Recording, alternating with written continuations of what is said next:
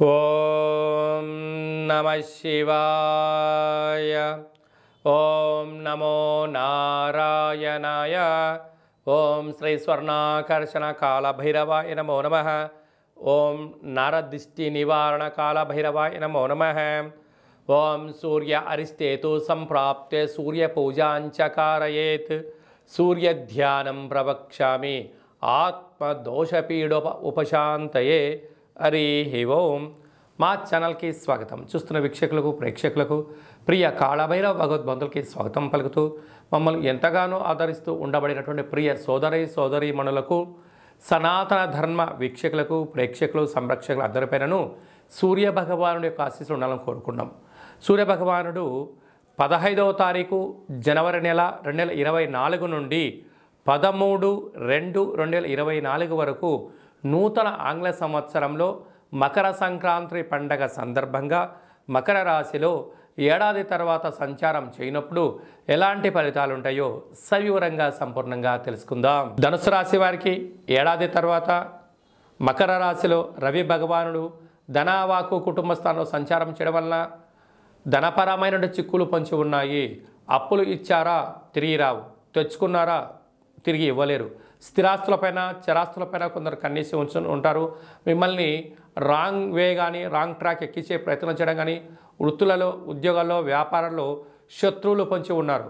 కష్టపడి పనిచేస్తూ మీరు మెట్టు మెట్టు ఎదుగుతూ ఉన్నతమైన శిఖరాగ్ర స్థాయికి ఎదగాలని మీరు ప్రయత్నం చేస్తూ ఉంటే అక్కడి నుంచి మిమ్మల్ని ఎలా దిగదార్చాలి అని చెప్పి కొందరు పని కట్టుకొని తిరుగుతూ ఉంటారు.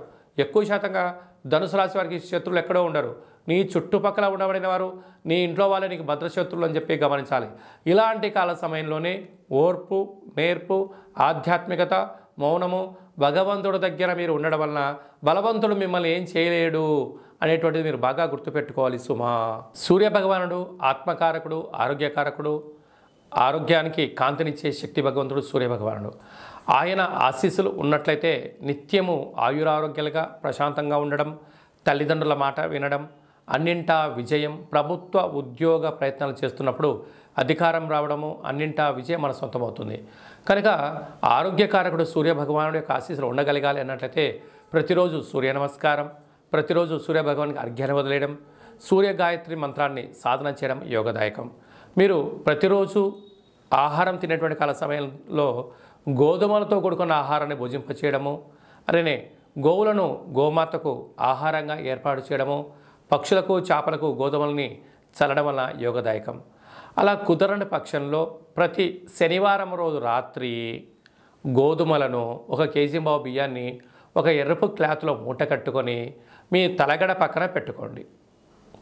లేకపోతే పూజా మందిరంలో పెట్టండి. మరుసటి రోజు అంటే ఆదివారం శనివారం రాత్రి పెట్టారు. ఆదివారం అంతా ఉంది. ఆదివారం రాత్రి కూడా మన ఇంట్లో ఉన్నాయి. సోమవారం పూట ఉదయం స్నానం చేసిన తర్వాత సూర్య భగవానునికి నమస్కారం చేసుకొని మీ మనసులో ఉండబడినటువంటి కోరికలు నెరవేరాలని అనారోగ్యం తొలగిపోవాలని ఐశ్వర్యం ప్రసాదించాలని ఈ మూటను తీసుకొని వెళ్ళి నవగ్రహాల్లో సూర్య భగవానుడి దగ్గర ఆరు మార్లు ప్రదక్షిణ చేసి ఆయనకు గోధుమలతో అభిషేకం చేయండి యోగదాయకం. కుదరలేదు ప్రవహించే నీటిలో సమర్పించండి. కుదరలేదు గోమాతకు ఏర్పాటు చేయండి. అంతా మీకు మంచే కలుగుతుంది.